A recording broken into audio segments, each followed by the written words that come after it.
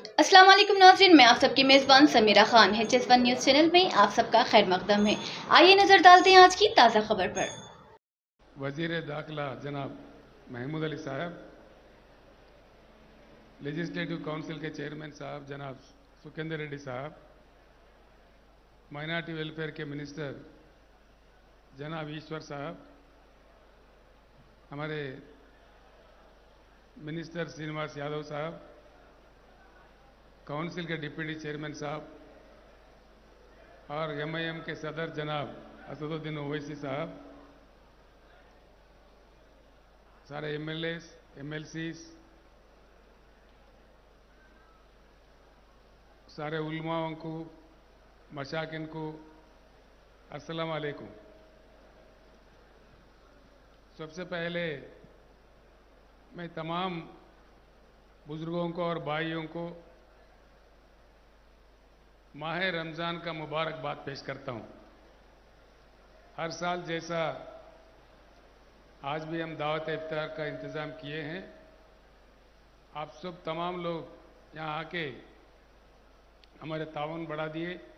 मैं आप तमाम का शुक्रगुजार हूँ। तेलंगाना अभी ईश्वर साहब बता रहे थे, मैं भी ज़्यादा नहीं बोलूँगा, दो चार बातें बोलूँगा। अल्लाह के फजल से आप सब लोगों से दुआ से तेलंगाना रियासत का तरक्की इस कदर है। नौ साल, दस साल पहले जो हमको पिछड़ा कहते थे बैकवर्ड कहते थे, आज हिंदुस्तान में कोई भी रियासत हमारे मुकाबले में भी नहीं है। ये मेरा नहीं है बयान। मरकजी सरकार हाल ही दौर में पार्लियामेंट सेशन में दिल्ली में बताए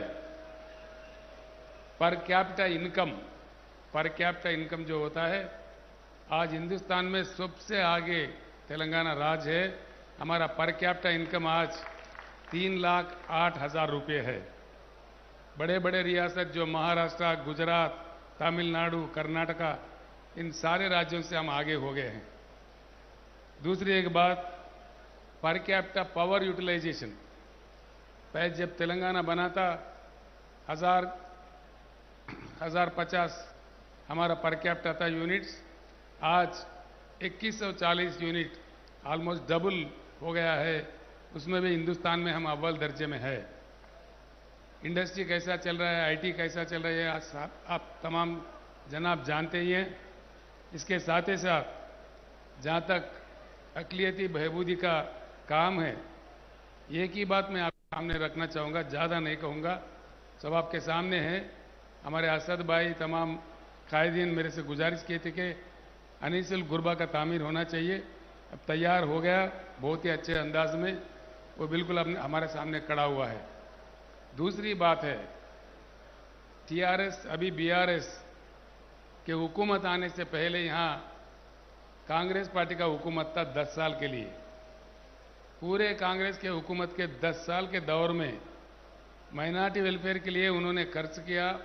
1180 करोड़ रुपए, यानी कि 1200 समझिए। राउंड फिगर भी है, पूरे 10 सालों में।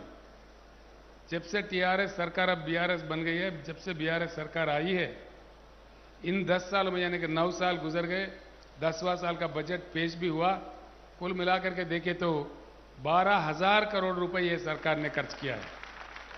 ये कोई भी देख सकता है, जो कि ऑडिटेड फिगर है कंट्रोलर एंड ऑडिटर जनरल का। ये असेंबली में है सेक्रेटरीट में हर जगह।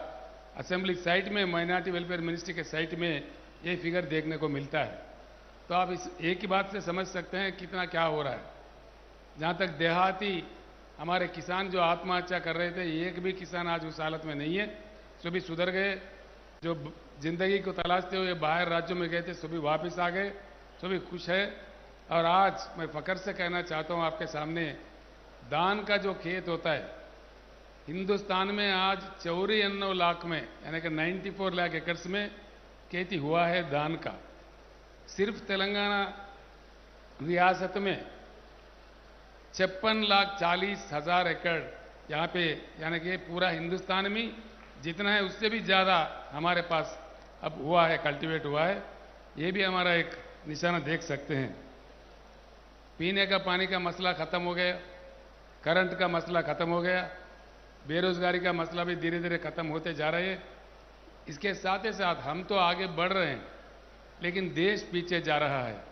ये कहने के लिए मैं शर्म नहीं करूँगा, लेकिन मरकज में जो सरकार बैठी हुई है, वो अगर हमारे बराबर, तेलंगाना के बराबर काम करता तो हमारे जीएसडीपी कम से कम तीन से चार लाख और बढ़ने थे।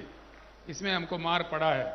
और देश आज एक अजीब दौर से गुजर रहा है, ये हम तमाम लोग जानते हैं। मैं बुज़ुर्गों से, नौजवान भाइयों से, सभी दानिश्वरों से मेरा गुजारिश है कि हिंदुस्तान हमारा है, हर हालत में इस देश को बचाना है। छोटे छोटे मुश्किल तो आते रहेंगे, इंशाल्लाह आपका ताउन हो, लड़ते रहेंगे आखिर आखिर तक। ये टेम्पररी फ़ेज़ है, कुछ होने वाला नहीं है। असलियत का, इंसाफ का आकर में जीत होगा। इसलिए मैं बिलीव करता हूँ जब तेलंगाना के लिए लड़ रहा लड़ रहा था यही बात मैं बार बार कह रहा था कि अल्लाह के घर में देर है लेकिन अंधेर नहीं है। इसलिए बिल्कुल हम आगे बढ़ेंगे। ये देश सुबी का है ये देश हमारा है इस देश को महफूज रखेंगे। इसमें हम अपने आखिरी खून का बूंद तक भी लड़ते रहेंगे लेकिन कहीं।